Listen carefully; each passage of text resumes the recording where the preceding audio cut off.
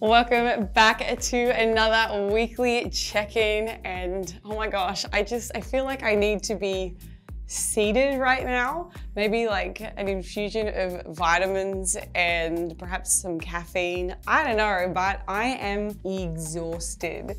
So this weekend uh, we had the Olympia up in Orlando, Florida. So it's about an hour and a half drive for us, which actually eventuated or turned into about a two and a half hour drive on the way home because of how crazy the traffic is getting in and out of Disney. But Anyway, we had uh, a really, really great time uh, Thursday through to Sunday up in Orlando. Um, first off, huge thank you to our team who came along with us, helped make that event possible uh, and supported us through uh, a lot of preparations. So uh, thank you so much to our team of coaches uh, and everybody that's behind the scenes. And then also thank you so much to everybody that came out and said hello. I am always pleasantly surprised at just how many people have benefited from some of the education or the books or the videos or whatever it is, Carbon Diet Coach, the coaching. And I think it really just kind of solidifies exactly why I get up every morning and do what I do. So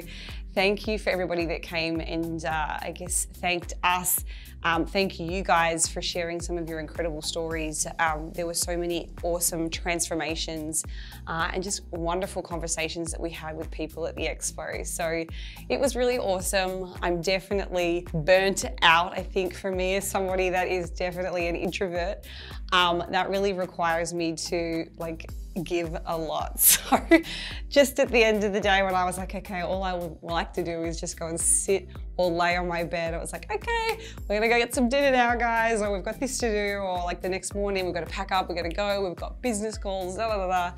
So it was just a really busy weekend. So outside of all of that, I guess life still happens in the background. So I wanted to go through, I guess, a couple of the things that I have been kind of going through personally just in the last, I'm gonna say the last couple of months, in fact, and how that's kind of manifesting and what it's doing to my nutrition. So something that I noticed, must have been yesterday, so it's Monday today, Sunday uh, in the afternoon, I found myself doing a little bit of that mindless eating. You know how you just go into the kitchen and starts off, you open the fridge, you kind of just stand there and look at what you got and it's like, mm, no, I don't really care for any of that. Then you go to the pantry, check out, see what's in there, and I'm like, oh, kids' foods, mmm.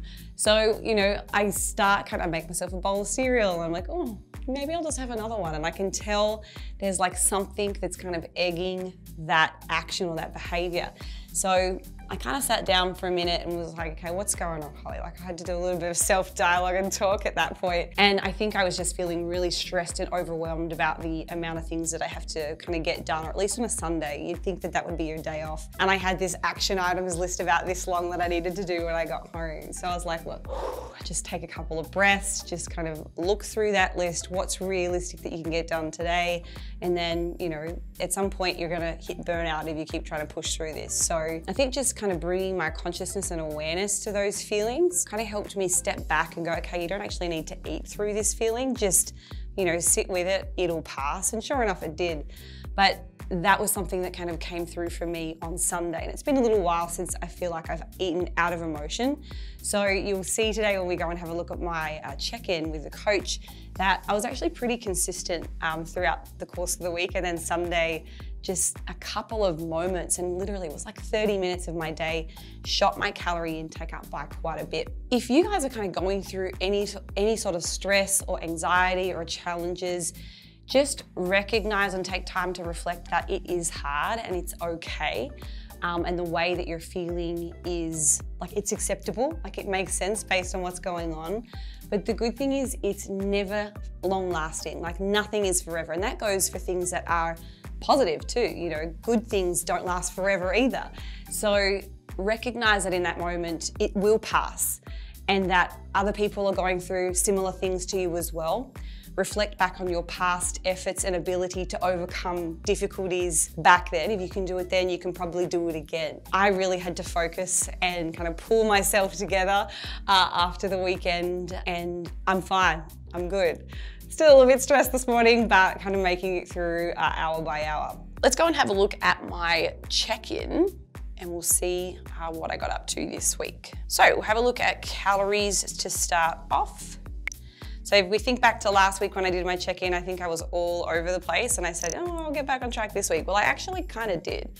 So if we go from Monday here through to Sunday, you can see my average weekly calorie intake was 1821 and that was coming off me um, setting my goal to maintenance. And it brought my calories down a little bit. And part of the reason it's dropped down from where I was is because my app is actually a bit of a testing platform for our dev team. And when I went to check and see what my predicted maintenance calories were, it was saying like 4,600. I'm like, that's not right. We'll just skip that bit. So I calculated it from scratch. But interestingly, we'll see today what happened to my weight when I was on these calories. And I'm pretty confident I'm probably gonna get an adjustment back up um, this week. Pretty consistent with the actual target.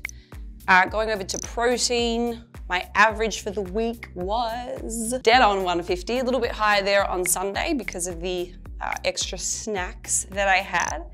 And then on carbohydrate front, I'm sitting at 185 and that's probably right on where I'm meant to be. We'll soon find out when I go to the check-in. And then my dietary fats for the week came out as an average of 53. Um, and you can see there, Sunday was the highest day at 88, and that was thankfully, I'm gonna say thankfully because I really enjoyed it, peanut butter. Yeah, so straight into the bowl.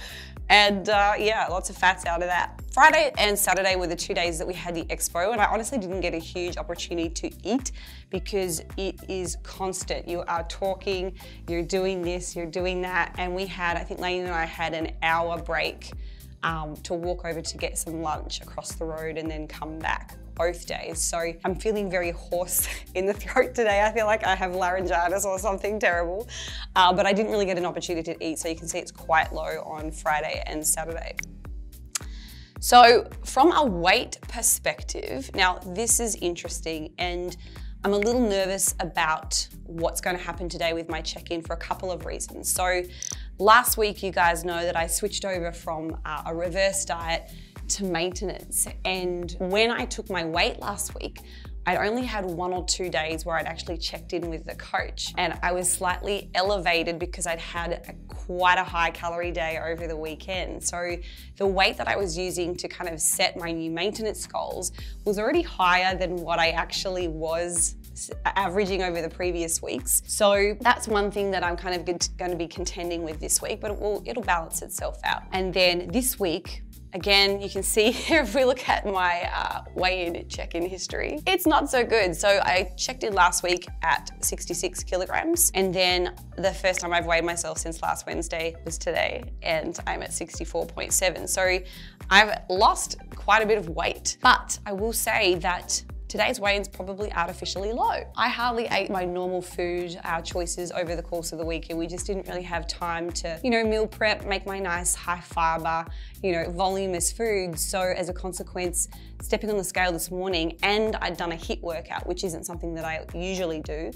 Um, I'd done all my cardio, I'd front loaded it morning so that I could get to work and just finish off the rest of the day in front of my computer. So it's probably exaggerated. So when I check in today, I'm actually going to make a little bit of an allowance for that because I don't want the coach going, oh my God, you've lost all this weight. We need to jump your calories all the way back up so that we can maintain where you'd set out. That's something that I'm going to be contending with today, but let's go and do the check-in. So Let's have a look here. I haven't seen a compliant week for a little while. So my target range of calories this week was 1777 through to 1867.